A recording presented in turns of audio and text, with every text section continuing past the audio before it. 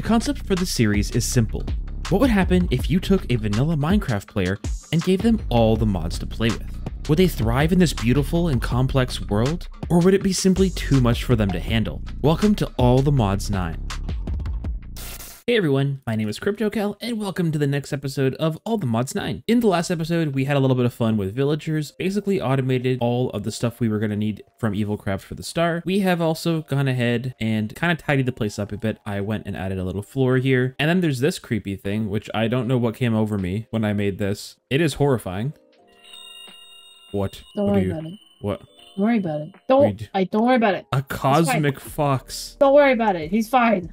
I have also been hard at work on the exterior of the castle, and I think it's starting to come along super well. A lot of these details I'm adding to the outside are really starting to make it feel a lot more castle-ish and not so much like a big stone layered cake. So yeah, I'll keep working on that more in between episodes. I'm coming along pretty well. I'm needing to obviously still do a lot in the interior. There's so much to do in this build. But I'm kind of happy that I at least have all four of these wings kind of sorted. And I'm, I'm pretty happy with the design of most of these. This one needs a little bit of work still, but overall, I think I'm going to kind of keep this general aesthetic going on all these wings. And that's good because today we're actually going to be making use of this final wing here, where we're actually going to get into industrial foregoing today.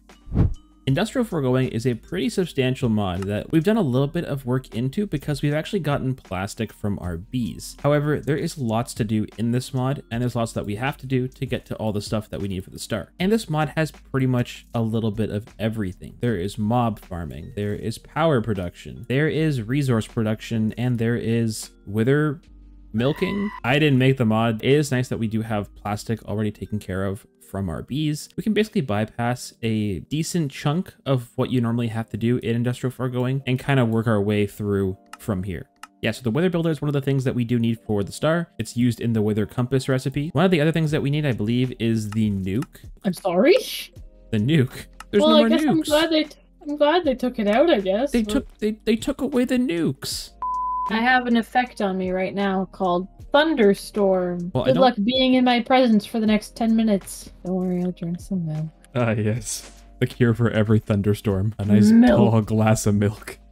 Chalky milk is preferred. So as you can see in here, we have 978,000 plastic. Our bees are going unbelievably hard right now. Normally how you start off industrial foregoing is you have to use the fluid extractors to make latex, process that latex into the dried rubber, which you can then smelt into plastic, which is used for all of the different machines. We don't actually have to now use any latex to produce plastic because we have a pretty much infinite source of it already. However, we are going to need latex, the fluid, because latex itself is used in other machines as a crafting material needed to make other upgrades and other machines. Latex is one of oh. the few things that we actually can't make using a bee, which is almost a little bit relieving in a way. Dang it! That just means that we can use all the latex that we're going to produce to basically send into machines, and we don't have to convert any of the latex into the actual plastic. So that at least simplifies that process a little bit. To start off, we have to get to something called the fluid extractors. The fluid extractors basically take latex out of tree logs. Depending on which log you're using, it will provide more amounts of latex. So for example here, if we use acacia logs, they provide 4 millibuckets per work cycle versus the other logs which only produce 2. The dark oak actually produces 3, but the best one by far here is the acacia log. So we're going to want to basically set it up so that we're always pumping in acacia logs into a fluid extractor, or at least sitting in front of the fluid extractor, because how the fluid extractor works is it just basically extracts the fluid of whatever block is right in front of it. And to craft up the extractor, we also need to make one of these pity machine frames. These are kind of the beginning machine frame for industrial foregoing, and it just takes some basic materials here, nothing super fancy right off the start. Let's go ahead and make four for now. So the way that we're actually going to automate the production of the latex is by auto placing latex logs down in front of our extractors. And to do that, we're actually going to use refined storage in a very similar way that Grace automated the living wood and living rock using the constructors and destructors. So let's go back to the castle and let's see if we can actually set this whole thing up. So I think what we're going to do is punch Grace right in the noggin. All right, I had change of heart. We're actually going to make a bunch more extractors just for fun. So extractors are going to go down facing like this, and the black face here has to go towards where the log's going to be placing.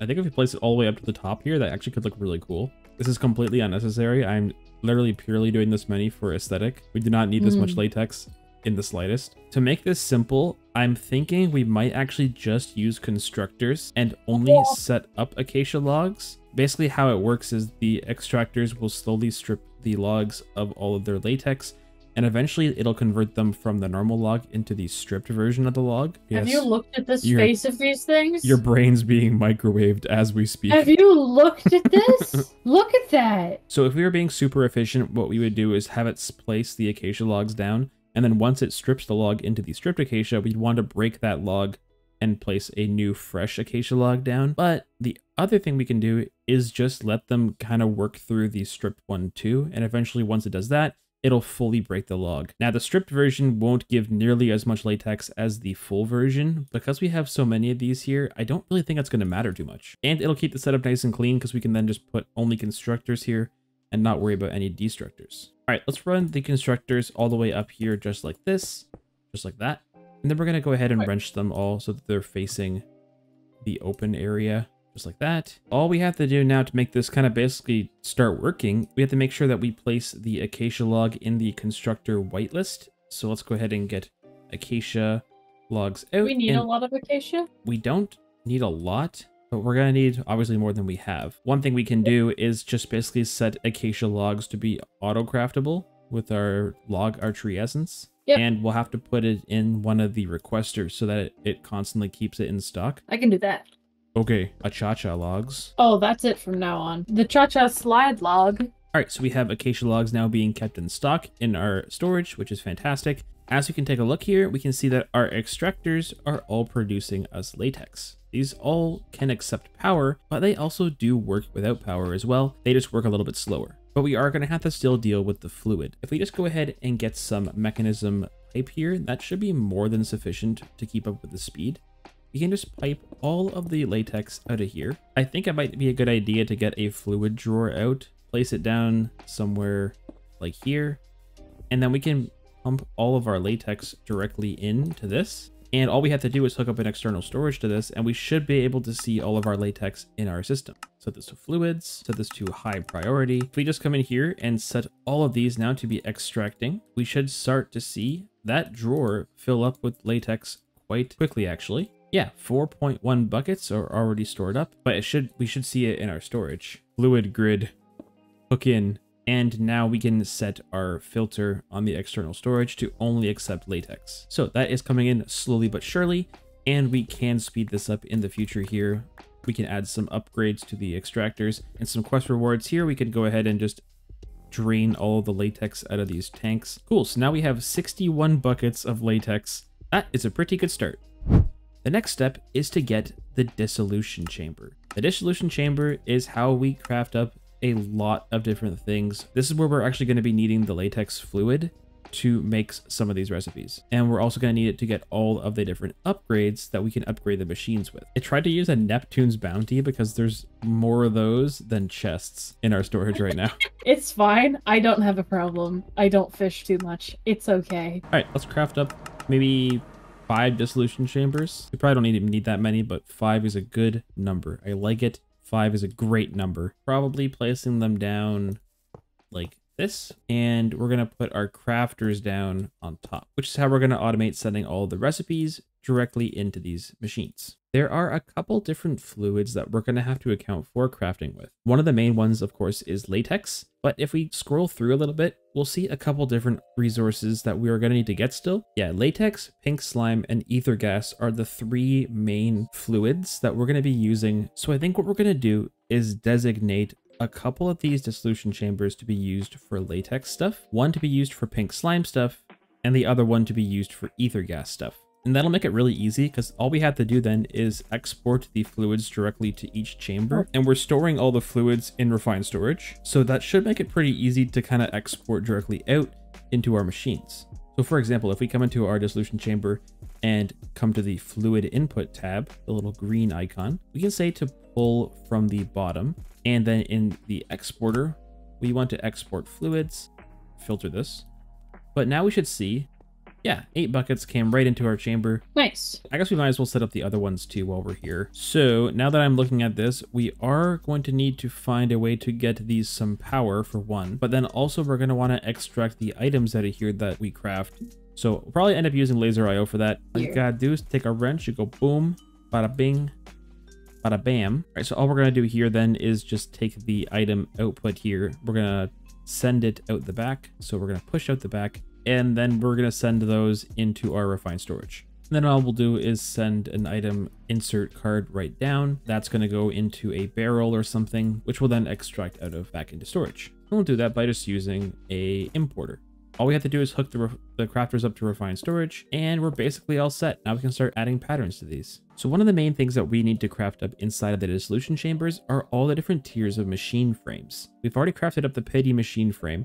That one is pretty much just a normal craft but the simple machine frame is actually done inside the dissolution chamber using the previous tier's machine frame and a couple other materials and some latex. It actually tries to send in latex directly, which is a way you can do this actually because refined storage can handle fluids. So if you have latex in your system, it'll know to send it automatically in, and that is actually a pretty good way to do that. But because we have our stuff already being auto exported using our exporters, that shouldn't really be required just like that, make the recipe, and that's all good to go. The next tier up is the advanced one, and this requires some pink slime. So this is something we don't quite have yet, but I will actually just make all the recipes while we're here, as well as the supreme machine frame, which requires some ether gas. Here are the patterns. Okay. Put them in the right machine. Uh, This is a test. Do not fail. I'm failing. They all say pattern on them. Ah! It's a test. Which one is for which? Ah. This one uses this pattern, I think. I think. And then this one is this one. So this one goes over here. Am I right with that? Ta-da! So, theoretically, we should be able to autocraft the simple machine frame now. So if we come into refined storage and ask, say, for three simple machine frames, will it work? Let's see. It's going. And it came right back into refined storage. Nice. We're going to want to get a couple of these add-ons, mainly the speed tier 2, the efficiency tier 2, and the processing tier 2. Each of these machines can hold one of each of these upgrades. So the processing, efficiency, and speed upgrades all take one bucket of latex, which is quite expensive. Thankfully, we do have a decent bit of latex saved up. So let's go ahead and place one of these upgrades in each dissolution chamber. That way we can craft up all three of these upgrades at the same time and not have to wait for the other ones to be done. So if I craft up, let's say, well, we're going to be a little low on latex. Let's just, can we do 10 of each? Oh, yep, it's doing it. They're crafting. So here is one speed, one processing, and one efficiency.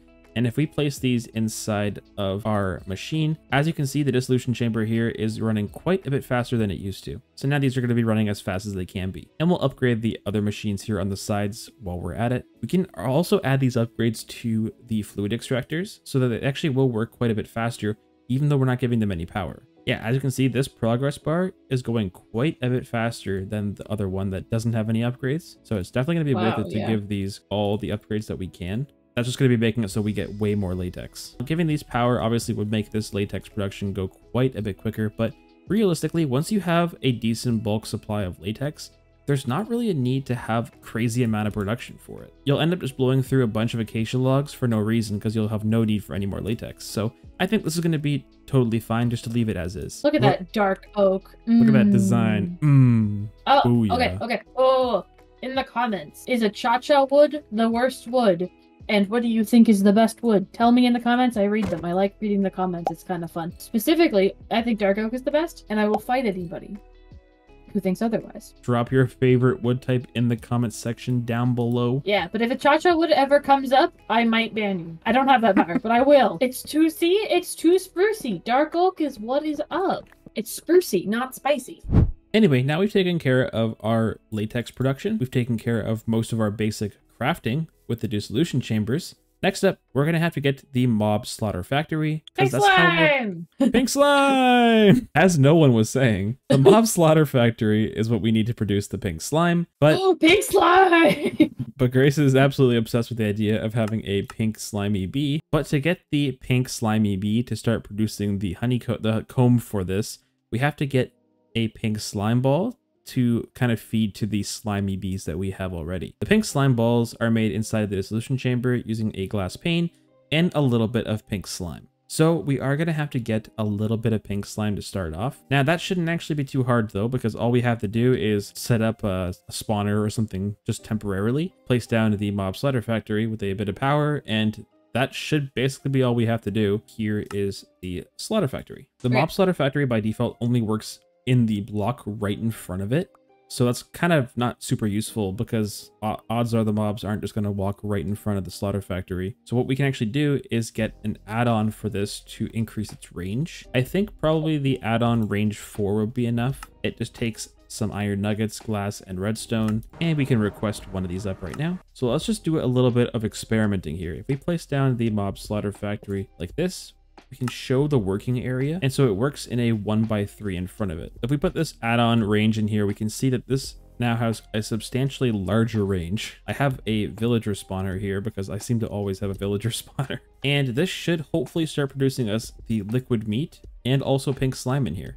Why isn't it working? It did. Okay, oh, cool. Oh, it is. Now, it's producing yep. way more meat than slime because hostile mobs give more pink slime than the passive mobs. So it might be actually worth now turning this off and getting a different spawner out. Sorry, guys. So none of these are actually producing pink slime that fast, once again. So it's not fast, but we are producing pink slime. So that is at least something. We can just say to push the pink slime out to the right. And then all we have to do is get a tank out, like a basic fluid tank.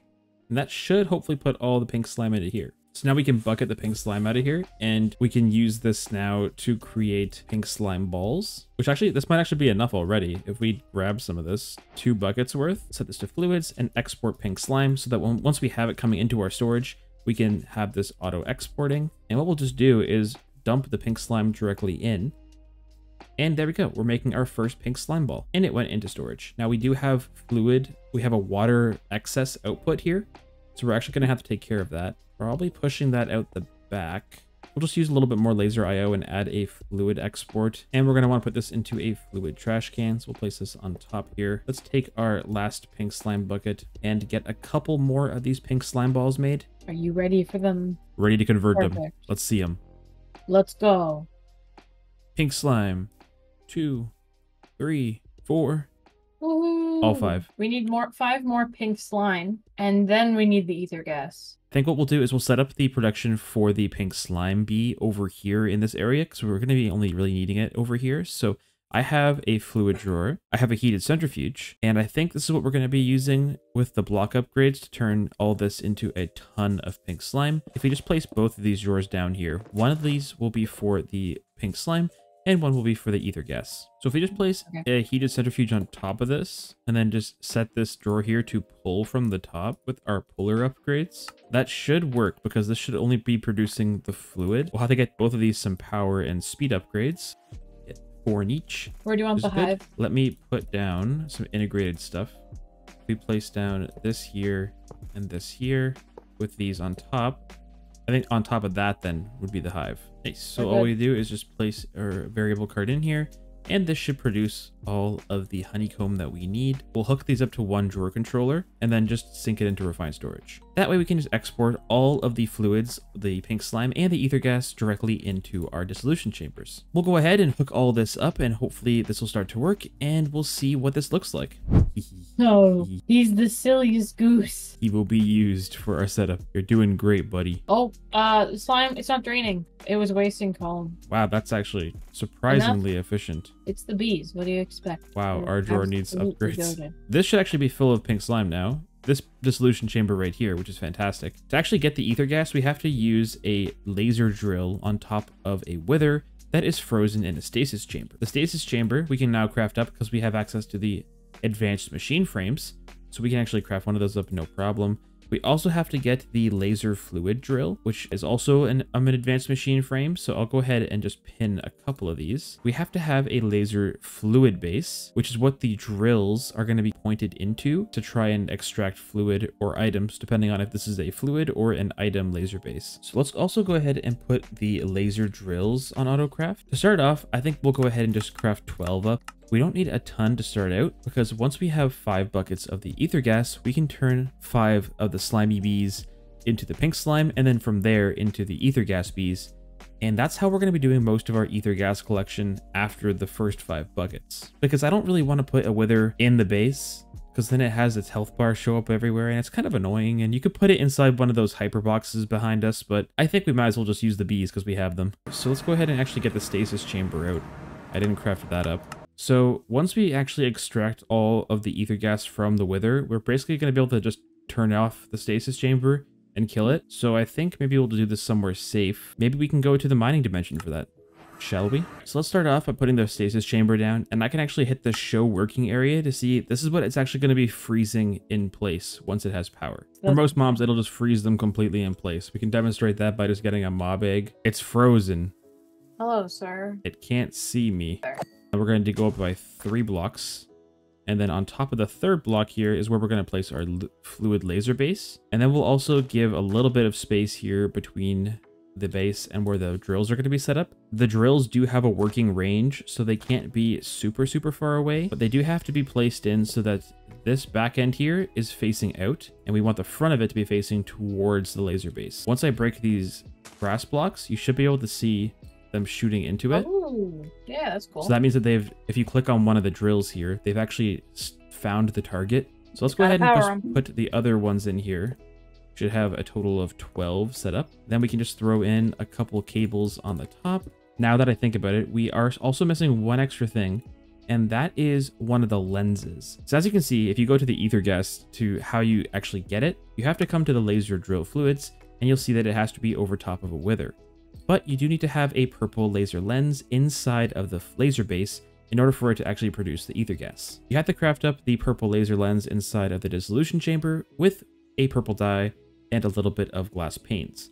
I have that right here. If you want to go craft those up in the latex dissolution chamber and bring back yep. the, the lens. While she's doing that, I'll go ahead and actually get started with a flux point. We'll get this some power going. So all these now should have power and are working, which is good. We could put upgrades into this machine as well, into all the lasers. So let's go ahead and get a couple of add-ons. And all that's left to do now is add the wither. And we'll summon the wither right here but because it is on top of the stasis chamber, there shouldn't be any issues. Yep, as you can see, the Wither's health bar has gone away because it's currently frozen in place. Hmm, why is it not uh, any, doing any drilling? Max 256. Oh, it's set too high. That's That was weird. The max depth here has to be actually below 256. I don't know why it was set so high. But now we're producing ether gas here quite slowly. We're only at 30 millibuckets. But we can actually make that faster oh. by adding the add-ons that I just crafted up. We also need the pink slime though. We still haven't converted the slimy bees into the pink slimy bees. Yeah, but we have a ton of pink slime over in those fluid drawers. You can go and convert those other slimy bees into the pink slime bees. And once we have five buckets of ether gas, then we will convert those over and get them put into the hives. All right. We have enough to make the bees. Let's go. all five. All right. So we have ether gas. Three. Five buckets ready to go. Five and one. Oh. oh he's so small. They're so small. Two, three, four, five. Oh, they're so cute. I like these guys. We're taking oh, this whole thing down. We don't need any of this anymore. None of it will be needed again. Kill Get out of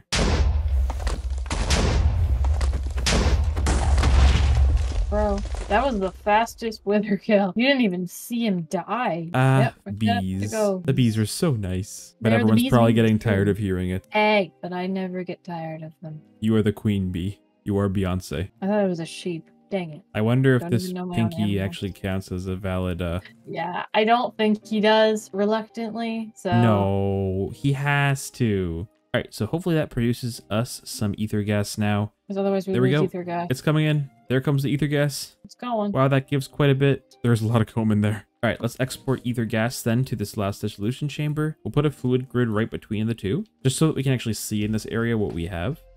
I'll run some refined storage cable up and around. So now we should be able to see it in here. So as long as you have buckets in your storage, you can just left click on any gas or fluid and get a bucket of it. There we go. We have eight buckets of ether gas in this chamber. More will be coming in quite fast with our bees. But now we have the option to produce the highest tier of machine frame. And that's what we actually need to make the Wither Builder is the Supreme Machine Frame. So we've basically gone through all of the industrial foregoing progression needed to craft all the items. So if we come into our system, we can request a few of these machine frames, the Supreme Machine Frames, hit them to start, and we should see them start to craft their processes up Obviously, it's going to have to start here with some of the simple ones and then make some advanced ones. And then finally, once the advanced one's done, it'll put it all inside here and craft up the Supreme Machine Frame. We have every single other item here besides the Wither Builder for the Wither Compass. So we need 18 of the Wither Builders for all the stars. So let's see if we can actually get that done. 18 Wither Builders going to craft. The Supreme Machine Frames are being made, and so are the Wither Builders. Ho, ho, ho. We're gonna do it. We're gonna actually get an item done for once. Okay, so we basically have everything. Uh, can They're we sorry. use this to just craft up 18 Wither Compasses? Do it. Do it. Eight. Oh, it's giving me the wither effect. I'm hurting. We needed more void forges. Do we not have more? I thought I crafted all these up. Oh, they all have like little tags. We do have enough. I'd have to do it one by one here. And 18. I have 18 wither compasses. Have one. Enjoy. It's tasty. Mm. We have finished the first big quest here with the Master of the Undead. We should totally just craft up the master or the, the creative essence because the creative essence we have all the materials for. We just haven't crafted it. It's just a bunch of insanium gemstones, insanium blocks. 16, 17, 18. Ta-da! 18 creative essence right there. Look at us go. Very exciting. creative essence is done. But I think that's what we're going to call it for this episode. Thank you very much for watching, everybody. I really hope you did enjoy. If you did enjoy, feel free to leave a like, comment, and subscribe to the channel. Also, if you haven't already, be sure to join the Discord. The link is in the description down below. But that's it for me, everybody. I hope you all have a good one, and we'll catch you in the next episode. Bye!